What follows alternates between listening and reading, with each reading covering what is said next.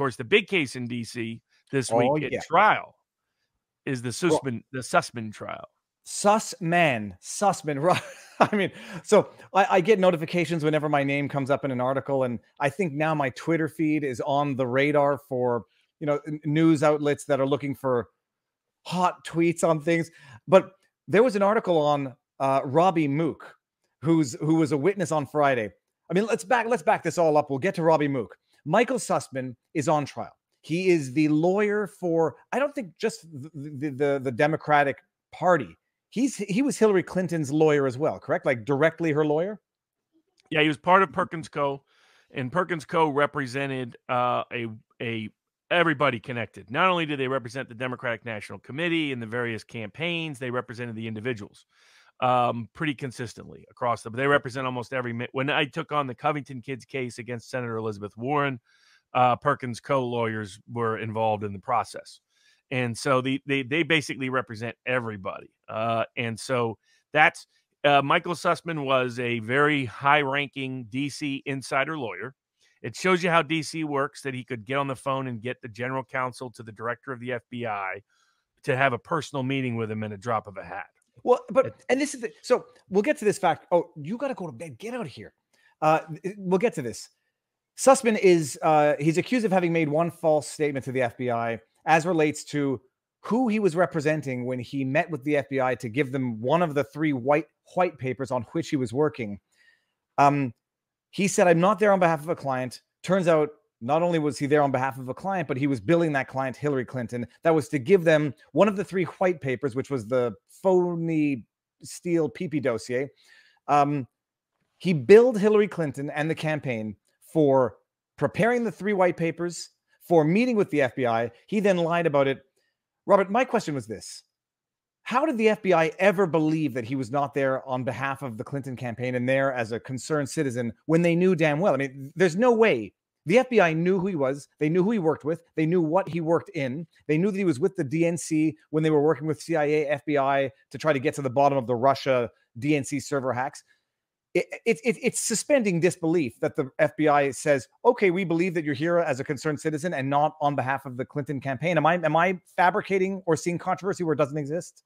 Uh, no, I mean, I think, and I think the the issue I've had with the uh, with the whole Durham inquiry is it struck me as an effort to misdirect prosecution efforts to blame everything that happened on RussiaGate, Spygate, and UkraineGate on just a group of corrupt mid-tier outsiders for the most part, with one or two mid-level insiders who just made small mistakes. And that's the narrative that Durham has pushed consistently. And the moment he didn't flip Clinesmith was the moment you knew there was no chance. And there's people out there still hoping. There's no chance he's going after Hillary Clinton. There's no chance he's going after Peter Strzok. There's no chance he's going after James Baker. There's no chance he's going after Mark Elias. There's no chance he's going after Perkins Coie. as a law firm. There's no chance he's going after uh, James Comey or John Brennan or G- Clapper or any of the others. Because at the moment he he gave a sweetheart deal to Clinesmith, that locked it in because that was the guy who could squeal. With Sussman, I think he thought Sussman would just cut a deal, get a similar Clinesmith outcome, and Sussman's so arrogant that he's refused to do it. Now he has some reason for confidence. His two reasons for confidence. One is what you mentioned that he knows that everybody knew what he was really there for, and he told him he wasn't there for the FB, uh, for a client, just for their purposes, so they could have a nice clean record, so they could claim the FBI could lie to the FISA court and say we don't know if this has any ties to a can- campaign or not, um, and it, it was for their CYA, not really his CYA. And, and they, they, didn't they didn't fill out whatever a 302. They they took no notes of that meeting. Is that is that atypical, Robert? Uh, Oh, bordering completely on. I mean, all of it is. All of it is. I mean, what was really happening now, what has been confirmed by the evidence presented at trial is that the Clinton campaign organized Russiagate and laundered information and intel disguised as legal fees through a law firm uh, that was actually spreading the mis and disinformation throughout and then hiding it from subpoenas under false attorney client privilege claims. I said this from the moment the story broke at any level that this is what people would find. Uh, that they would that they had laundered the intel using law firms and using law enforcement in the media to do so. So the other thing that's coming out is how many of these people were also government informants. In other words, people that they're on federal payroll while they're on the Clinton campaign payroll. right? They got both services going on. And the and the goal was how do you verify this? You have people with big credibility and reputation like Sussman who have the relationships and the ties and the connections. You have the groups that have ties to the big media organizations, and you create a circular uh, deal. So you you leak the story to two places, and then you say because both stories said it, they confirm the original story, right? Even though you're the original source. This is an old game of laundering it's, intel it's, and laundering it's, information. It's the wrap up smear that Nancy Pelosi described so eloquently, probably from experience. And, and yes, they were doing he billed the campaign for the meeting with the FBI. Well, that, that's the that's with all these lawyers. That's the one place they get caught is they're so greedy. You knew they were going to bill for it. I mean, they bill for lunch. They bill for you know having an idea. When one of the first things a corporate lawyer taught me, I was you know, I was only a summer clerk at this corporate law firm, and he said, "Hey, you know, you take the the bus or subway in each day," and I was like, "Yeah." Goes, think about a client while you're on there. And if you can think about multiple clients, you can bill each of them six minutes because we smallest billing in, increment is six minutes. So, you know, I could spend three minutes thinking about three clients, and somehow the law firm wants to bill them for 18 minutes. Oh, oh uh, here another trick: if you take a train from Montreal to Toronto uh, for a client, but you work on another client's file, 10 hours billing time right there. Boom.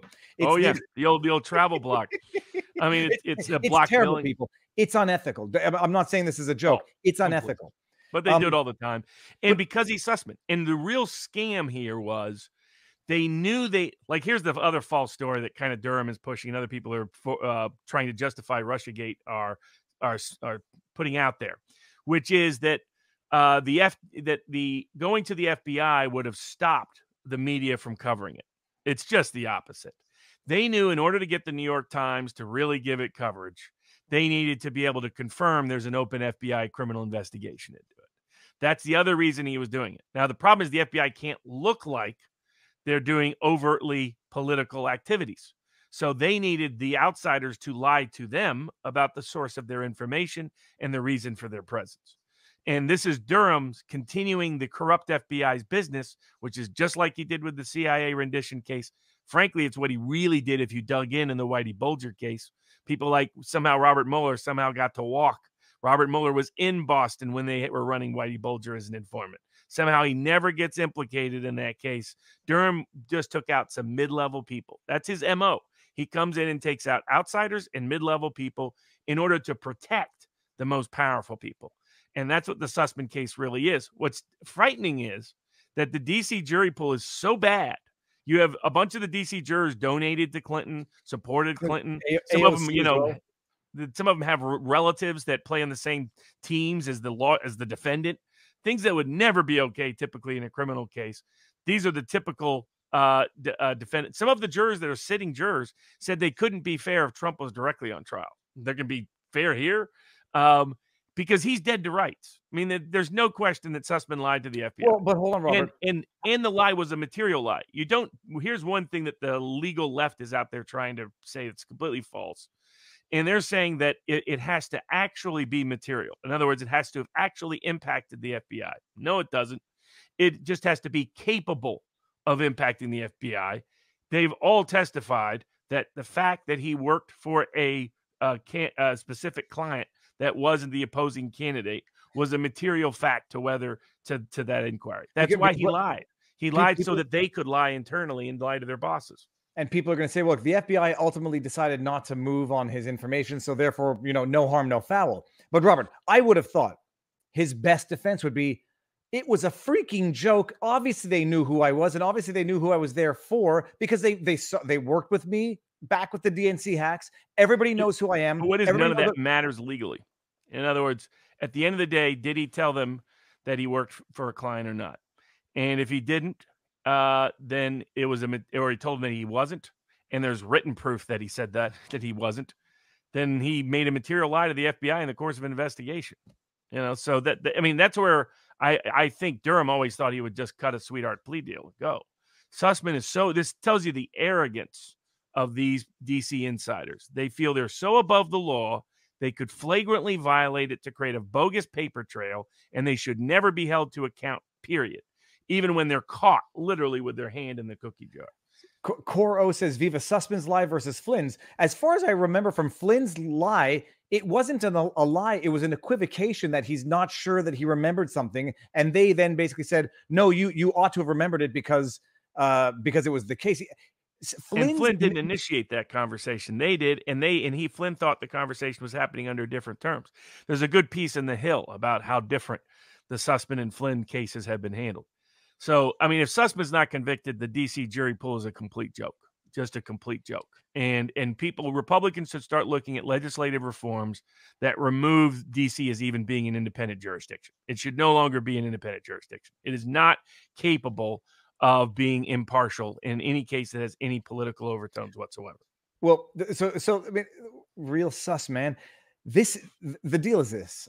Here's the deal, man. No, now I sound like Joe Biden they should have like it's not it's not a joke. The FBI knew exactly who Sussman oh, was. Yeah, they yeah. knew he was a cybersecurity lawyer working with working for and on behalf of Hillary, the campaign for years. When he says, "I'm here as a, as a concerned citizen," it, it's laughable to anybody with half a brain, and it ought to have been oh. laughable oh, to the to the FBI. It was for their benefit. It was, "Hey, you tell me you're not here for a client, then I can legitimately run it up as this not coming from a okay. contaminated source." I mean, they, they were in on it. It was a conspiracy between the two of them and everybody knows it, but everybody has to pretend otherwise because Durham wants to cover up for the high-ranking corruption that took place here. And, and and the media silence or the absence of of the absolute outrage that should be flowing from this is a good indication. This was the Alfa Bank story that uh, Dan Abrams of Law and Crime, uh, after I ran a piece on his publication, he got really agitated at how popular it was, which would be, would seem kind of odd, but because I pointed out here's all the risk from Spygate. And he was like, Oh, you know, Barnes, you don't know what you're talking about. There was nothing like this that happened. He goes, What we really should be investigating is the Alfa Bank story. What did the FBI say this week? That that story was so laughable and so absurd, they thought a mental patient came up with it. That was the official testimony. So that's Dan Abrams was out there repeating fake news that a mental patient, uh, uh, uh, that a mental patient would even know is nuts. And so that's just a little reminder as to their credibility and reliability of Dan Abrams, Law and Crime, ABC, all the rest. Uh, so, okay, no, so I'm glad because I'm thinking like I feel like I'm going crazy again in that it was an implausible statement, but yeah, so it's self-serving. They, you know, they don't they determine it's a totally idiotic uh, story, but nonetheless, somehow Yahoo runs the story, and then the FBI cites well, Yahoo. It worked because the FBI confirmed there was a criminal investigation to the New York Times and ran the story right on the eve of the election. We're going to get to the Barnes and Elon in a second. I want to finish up with Sussman. So this is what's going on with Sussman, but the, the biggest news of the week and where everybody's making the same joke, and it's a sick, it's a sick, sad joke, but it's a sign of the times that Robby Mook, uh, you know, had, had better be very careful. These he better he better have a food taste. He better not have any. United, uh, the United Spot, I think it's called United Spot on YouTube, had a great uh, little meme version of uh, someone uh, of Hillary showing up at Robby Mook's door over and over again, pretending to be a different delivery service person. The uh, and so uh, you know that uh, there, there, was also you know uh, obituaries written for Robby Mook. When what Mook testified for anybody who doesn't know, he was the campaign manager for Hillary Clinton in 2016. He test. My understanding, he's now on the outs with Hillary Clinton. Uh, Clinton blamed everybody but herself, of course, for losing. But uh, he said that it came directly from Hillary, that this was not something being done beneath without her note, notice or knowledge. This was her orchestration and organization. Russiagate and spy. Russiagate was fake from day one. They knew it was fake from day one. They came up with more, more fake, crazy, ludicrous stories, laundered it through uh, uh, a government, a set of government agents that were more than happy to do their bidding at the Justice Department, the FBI, the CIA, the NSA, the the Office of uh, uh, National Intelligence, Director of National Intelligence, all of them were complicit and involved. The highest ranking media members were eager Reuters, NBC, ABC, CBS. All of this has been disclosed in the court record. We're eager to push this completely fake narrative that anybody who spent five seconds looking at the claim knew was fake. Federal informants were involved in this process. So all the corruption that some of us said were present has been confirmed in the record, in this trial, in the pleadings and testimony. Unfortunately, uh, there, there's doubt as to whether even Sussman will be convicted. And unlike some of my friends, uh, I don't think it will go any further. I think this will be pretty much the end and the wrap up of the Durham investigation. Nobody higher up is going to get hit. They're all going to get to walk and you know uh, friends of like you know uh, uh, Kash Kash Patel, right? Uh, some others that are optimistic are going to be deeply disappointed as they discover how the deep state really operates. Because pe- people have to appreciate that they're not on. Even uh, Sussman right now is not on trial for having fabricated, having funded a, a, bogus dossier, his that's that's all already water under the bridge. He's only there because he lied. So even well, if he gets convicted, you know, by the way, why he can't say he wasn't there for a client, right? One lie is a lie to the FBI. The other would be mail fraud of sending a bill. This goes to the great uh, John Grisham original film, uh, The Firm, right? Uh, the the mail fraud is everybody who sends a legal bill through the mail and they falsify what they billed for has committed a RICO offense. So Sussman could, once he billed for it, he could never say he wasn't there for a client. And he just has to try to, but he's so arrogant that he's like, ah, I shouldn't face any consequence for this. He's probably going to get real time now if he gets convicted because of his arrogance. But it gives you a, a sense of his, and DC just thinks they're above the law and never should be held accountable, period. End of story. I, I just we'll we'll close off the book and we'll bookend the the the uh, Robby Mook is that he he confirmed in in he was there More as a testimony for the defense. He was there as a as a as a witness for the defense, and he confirmed that Hillary Clinton personally okayed uh, authorizing Sussman to disclose this this one of the three white papers. This had Hillary Clinton written all over it. You can just watch some of the hush hushes about at, at vivabarneslaw.locals.com. Go to the hush hush playlist. Just watch the last two about the death of Vince Foster and the death of Ron Brown, and you understand Hillary's got her fingers in a lot of interesting places.